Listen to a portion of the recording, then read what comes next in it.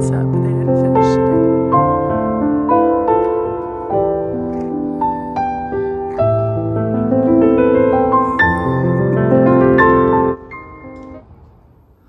Hello, Ooh, my ear.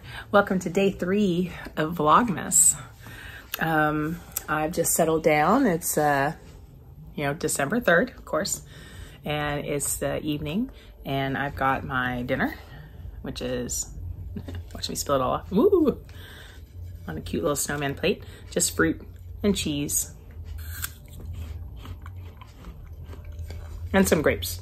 Um, thought I'd settle down and talk to you a little bit about what's been going on. So to explain some footage that you either have seen or will be seeing, I haven't decided how I'm doing this vlog today. Um, my street, typically on the corner that I live on, the end of the street that I live on, everybody participates in decorating for different events, but we've got people that go way out the wazoo to decorate. And uh, so it's been really funny because the typical houses will put lights up and then more people put lights up. So now we've got in our corner, we have like seven houses that have lights. And then our house had no lights and our house is really dark. So I, my husband really wanted lights up. The boys did not want to help. Um, my son, Michael, uh, he finally came out to help today and we scrabbled together a little plan. We can't staple lights around the window because the brick, I don't know how to work the brick because there's no wood around the window. It's just brick. And, um, so we did the best we could and I think it looks kind of cute. At least we have lights up and we're participating. Now, does it look good? I mean, like, it looks fine.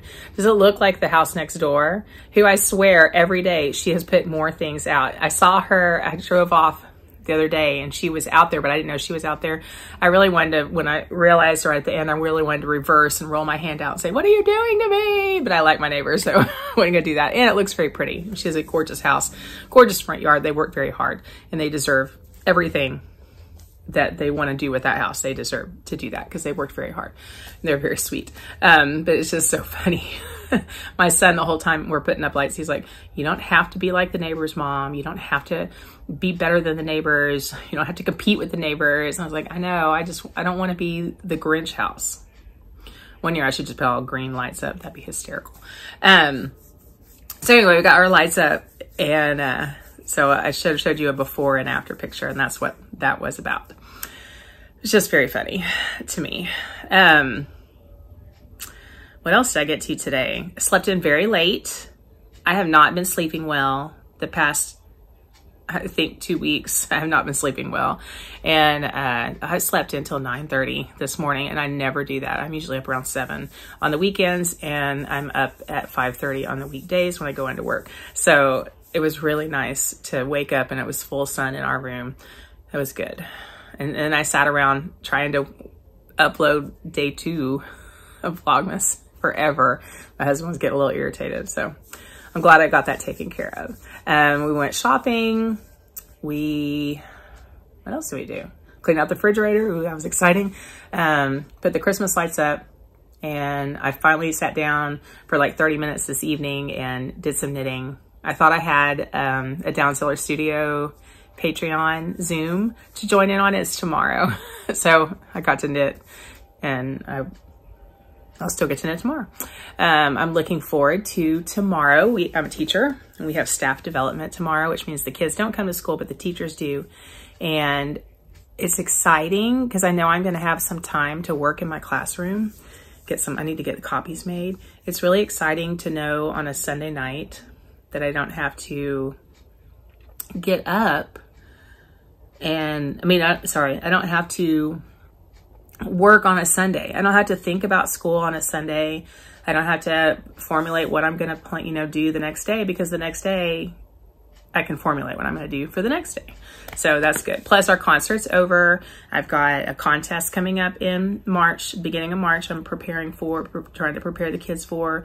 We've got a solo contest I'm going to start preparing the kids for and just the fun of, of the winter break approaching. Next week we have test, or this coming week, we have testing in the morning and that's kind of fun because it's something different. I mean, the kids aren't having a great time, but I'm not testing anybody. I'm just a hall monitor, so I'll be having a fine time. Anyway, just having a good day. really good. Do my happy dance. So I thought I would um, empty, I mean, open my Advent for today. So uh, um, I don't think I've been doing a decent job explaining what my Advent was. I got an Advent from Fiber Nymph Dye Works. She was doing a Middle Earth, what is it called? A Middle Earth Winter Holiday Countdown Collection.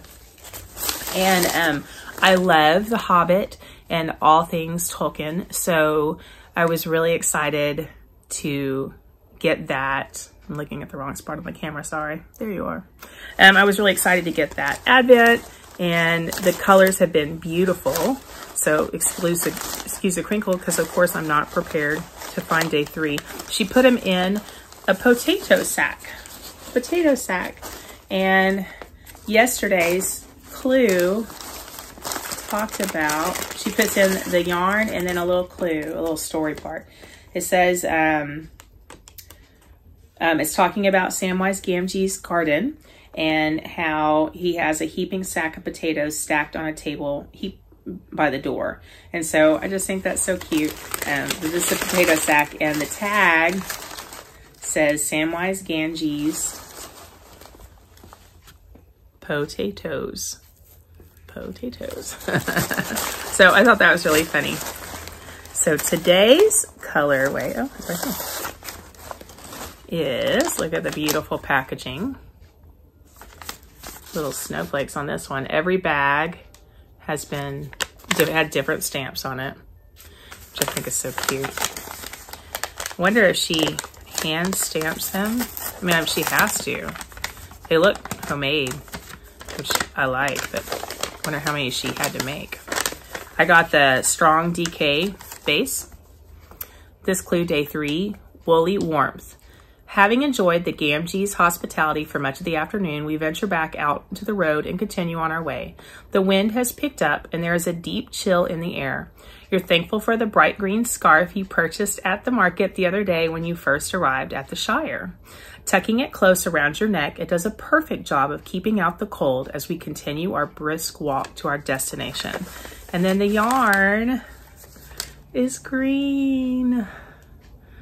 Oh, that's so pretty. It's a, like a tonal green. It's so soft. It smells like potatoes. I'm just kidding. It doesn't look mustache. Um, so cute. So I don't know what I'm going to make with this. I have so many, like I've been looking up advent plans. I watched Nitty Natty had a really great, um, like cutesy, uh, countdown to how many, I don't know, it was really cute. You have to look at it, but it was like an advent calendar, like what you should make with your advent calendars. And I want to make a blanket. I would like to make a granny square blanket or a stripe blanket, but I, I don't, I want to crochet because it's faster and I like it. But I don't know, like if I did just a stripe, this would probably be just like one stripe, right? I don't even know what this is. I think this is 20 grams. I'm assuming it's 20 grams if I did granny squares, I just, I don't know. I've never done a granny square blanket. That's kind of what I want to do. So I might just make granny squares and then decide what I want to do with them. Because what if I don't have enough squares? I'm assuming I won't have enough squares. What if I won't have enough squares? Then what do I what do I put with it? Even if I got, I believe I got a full skein of a neutral color to go with this or a, a coordinated color maybe, to go with this um, advent calendar. Um, what if it's not enough to make a full blanket? Then I have to sub in more yarn and I'm not good at color or anything. I like to dabble. I'm a dabbler. I have no skill or finesse or style or any of that. So I don't know. I don't know what I want to do. I really want, I want a, a fanny pack all the cool kids, the young teachers, have fanny packs they put like on their chest. Um, and I want one and I saw a crocheted one. Wouldn't it be cool to have a crocheted granny pack made out of granny squares? Fanny pack. Fanny pack made out of granny squares? That'd be really cool. So maybe, I don't know. I'm just enjoying opening them. I, am not working on them now. I have other things I'm working on. So what are those other things?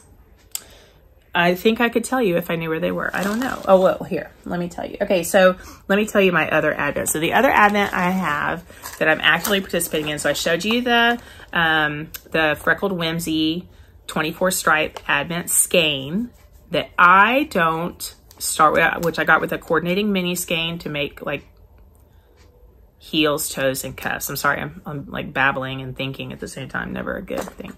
Um, I like to do, so for the past two years, that's how long I've done an Advent, I think, an Advent skein. I like to do mine, I start mine on Christmas.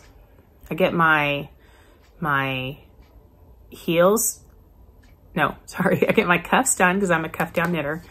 And then I do a stripe a day starting at Christmas and I try to get the pair of socks done by the end of January. Because there's nothing else, not there's nothing else to look forward to, but you know how January is. And it's just chill after a busy Christmas season. It's just nice to have something bright and pretty to look forward to that's low stress, very easy to do. So it, I just really find it enjoyable. I can't knit fast at all. I'm still working on day one of the next Advent thing I'm working on and the clues are very small too. So I don't know, that's my plan. So the uh, other thing I'm participating in is Sarah Schira, who is Imagined Landscape on Ravelry and other places. She has a mystery gnome along and this one is entitled Snow Matter What and it's Mr. Gnightley, G-N-I G-H-T-L-E-Y. Yeah, I think so, Gnightley.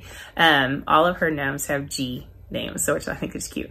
So I showed you my gnome bag that I have put the stuff in. I did want to show you um, one thing that I forgot about when I was showing off all my gnome things that I have. So uh, last year, I think, I got this. This is a gnome pair of scissors. Do you see the gnome?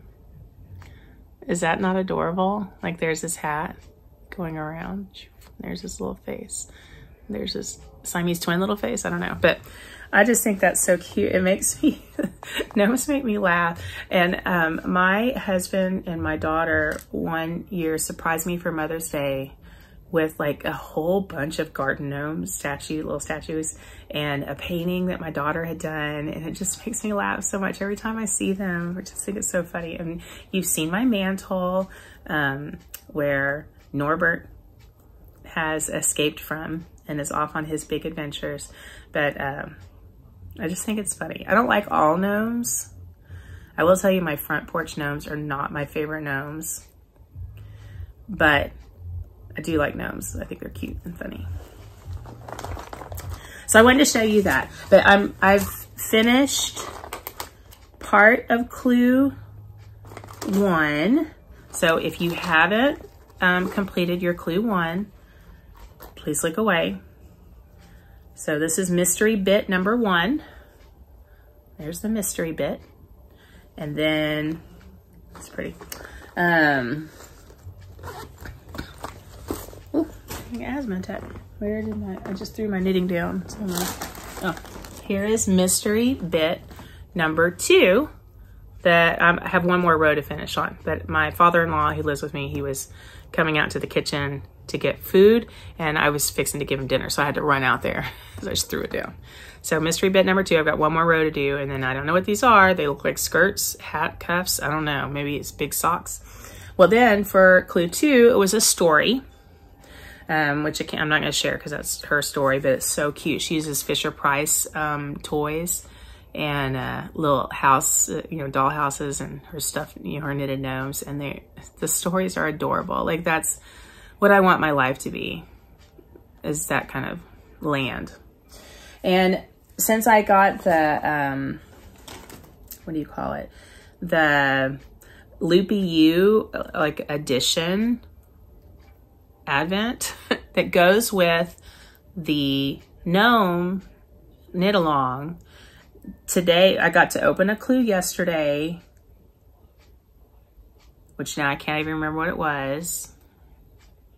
Hmm. When I remember, I'll tell you. And then I opened a clue today and it was a French knitter.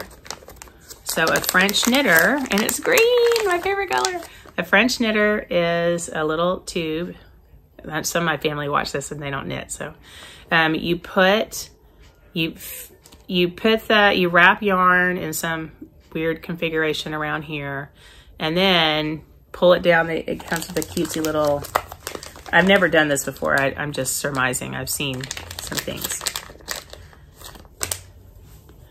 you pull the yarn down. So the yarn's going to come out here. So pretend this is a yarn tail and it comes out and it's an I cord, which would look like um, a hoodie cord, like a, or a hoodie string or ten, tennis shoe strings, you know, ties, shoestrings. So this is a cool way to make I cord and then you don't have to knit it. So I'm assuming that clue three is some kind of I cord business, but I don't know because I haven't done it because I'm still working on clue one. So I think that's really cute. Um, if you're watching and from my family, one year I gave the nieces and the nephews, we made, I made them out of toilet paper rolls and popsicle sticks and yarn. And I gave the kids those so they could do it on our travels because we were traveling somewhere. I can't remember where as a big family group. So you've seen a knitted, a knitted, a French knitter made by Susie, an American, um, the American knitter. Uh, anyway, so you've seen it before, so you, you kind of know what it was. But anyway, so that was cute. I love opening little gifts for me. Um, and then my last thing I want to show you today. Let me make sure this is what it is. Oh, this isn't what I was going to show you, but now I'm going to show you. Is a hat that I made for my um, future daughter-in-law, my son is madly in love with this beautiful young woman. And uh, he says she loves burgundy and pink. I talked about this on a vlog, but I finished the hat. Now the hat is ginormous and I haven't blocked it. Maybe it'll look better when it's blocked. This is, I don't even know the title of this hat, but I explained it on the other vlog. I don't want to go and get it. So um, it's ginormous, but it fits my big old head Looks really cute. It's kind of slouchy a little bit. And I think it won't mess up her hair. Oh, where's the tag? And I, I had um, uh, Yarnable, my yarn subscription.